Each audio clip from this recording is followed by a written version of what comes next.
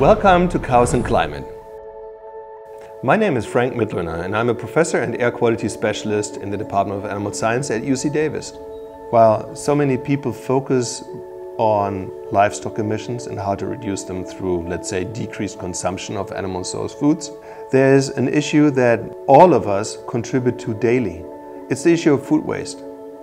Believe it or not, in the United States we waste as much as 40%, 40, 40% of all food produced. Just to give you some idea, there are different food groups that are wasted at different amounts. For example, the most perishable foods, fruits, vegetables, are wasted at 50%. Animal source foods, 20%. It's better, but still unacceptable. We can do better than that wasting at these amounts is unethical.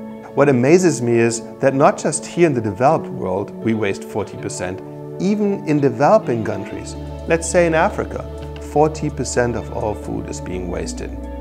Now there we can really help with all different kinds of approaches, including technologies and techniques to help them minimize that unwanted impact.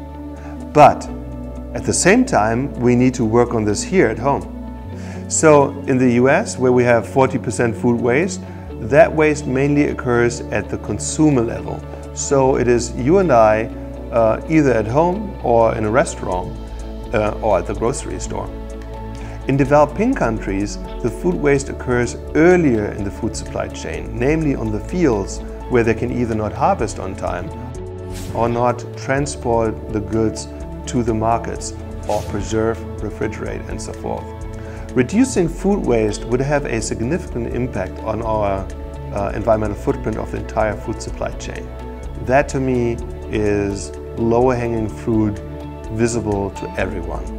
What's really important too is that a reduction of food waste would really help us addressing the challenge of our lifetimes, which I call the 2050 challenge.